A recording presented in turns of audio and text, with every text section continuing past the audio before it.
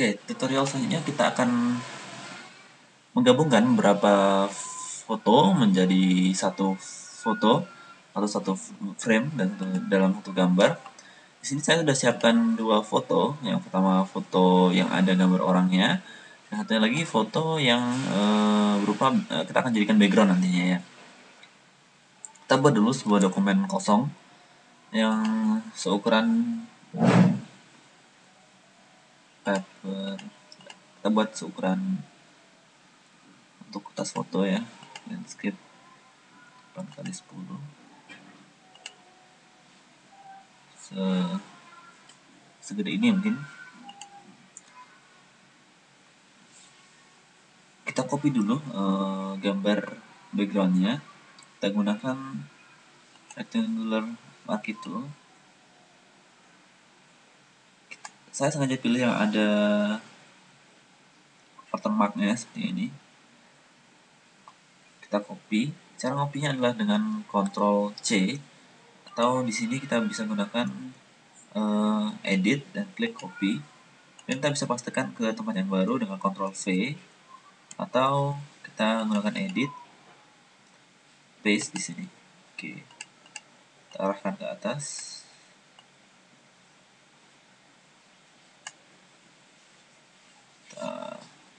kami transform. Oke. Ini akan jadi backgroundnya nanti. Kemudian kita akan ambil gambar model yang ada di sini.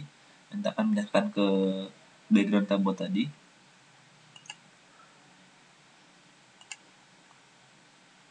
Kita perbesar sedikit untuk memudahkan selection biasa saya akan menggunakan magnetic uh, lasso tools untuk menyeleksinya. Pastikan gambar yang akan diseleksi ini uh, sebaiknya sebaiknya uh, memiliki resolusi yang besar dan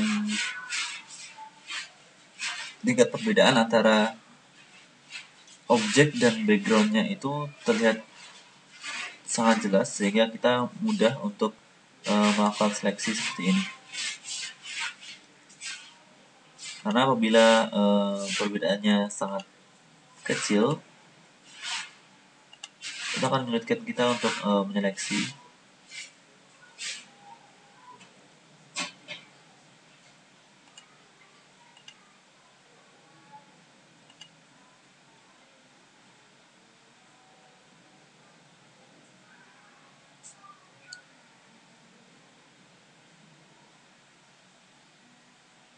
pastikan garis warnanya yang kita ambil uh, rapi ya. Usahakan serapi mungkin. Bawah.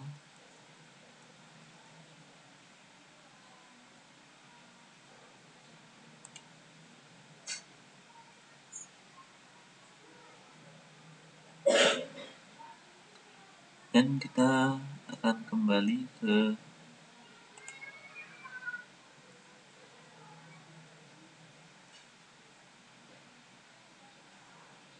titik awal di mana selection tadi dibuat. Oke. Oke, di sini dilihat area selection kita di arah, uh, arah model ini. Ini kita copy seperti biasa kita gunakan Ctrl C atau edit copy di sini kemudian kita kembali ke file yang baru kita buat tadi ada backgroundnya.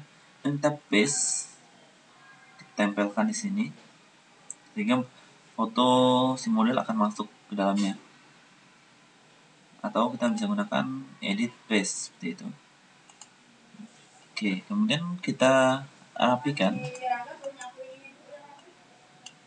Kita rapikan uh, area rambutnya kita gunakan eraser tool pastikan kita menyeleksi layer yang uh, layer model ya.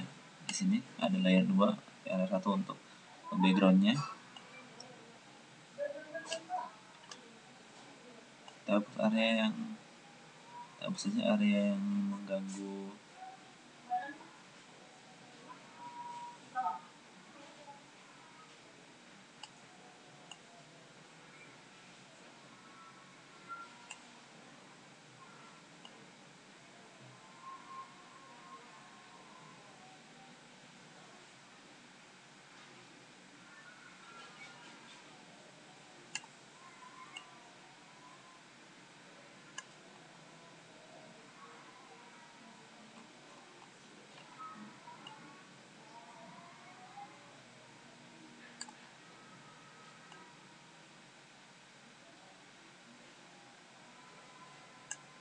hapus saja beberapa area yang mengganggu seperti ini yang kemudian akan sulit untuk kita perbaiki. Tapi selama menghapus kita pastikan bahwa yang kita hapus itu bukan area-area yang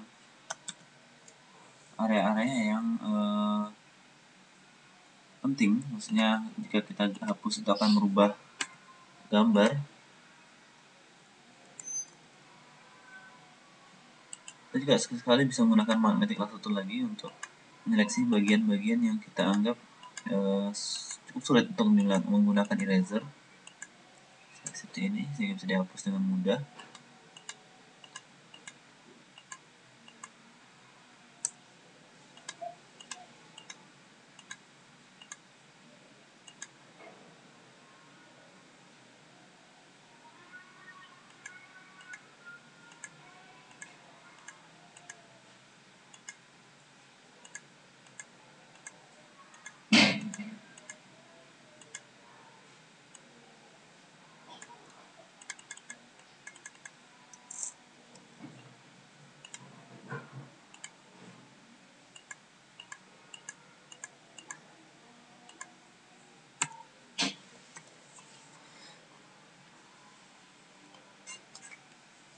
jika sudah uh, cukup rapi. Uh,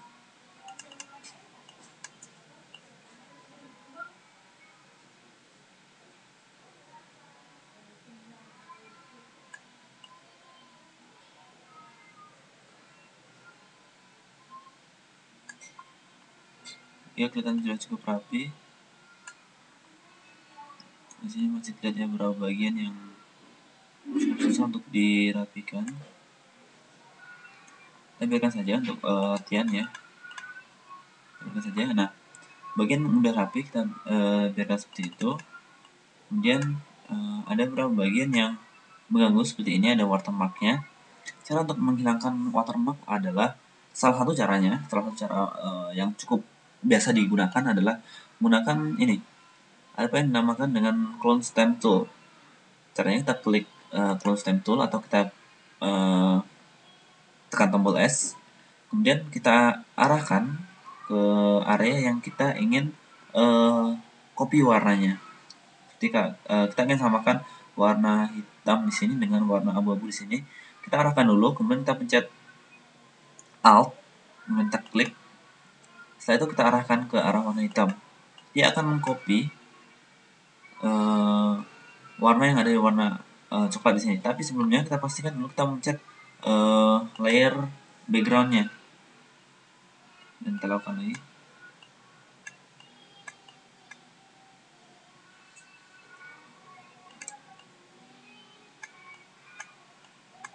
Lihat. Warnanya sedikit demi sedikit disamakan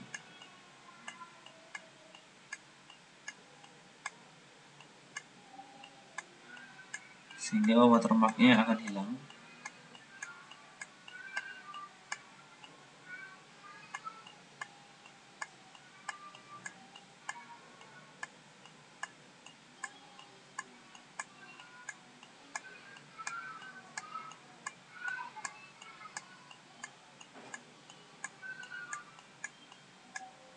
Kita bisa mengganti area seleksi lagi dengan cat up lagi.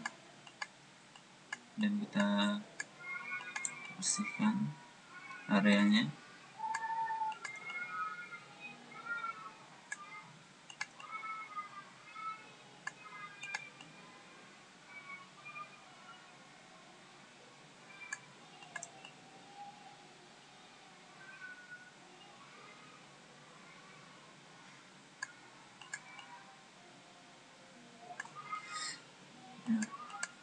Itu cara cukup uh, sederhana untuk menghilangkan watermark. Kemudian untuk uh, masukkan gambar ini uh, gambar yang dimasukkan bisa tidak terbatas. Bisa kita masukkan gambar bunga backgroundnya kita ganti lagi atau kita menambahkan objek lain uh, itu terserah uh, selera kita. Caranya sama kita selection menggunakan uh, tools yang selection di sini seperti magnetic mungkin polygon atau lasso tools.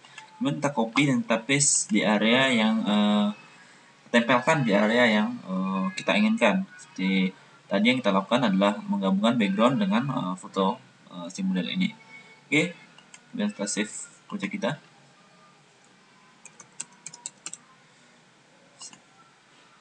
Oke, okay. that's it.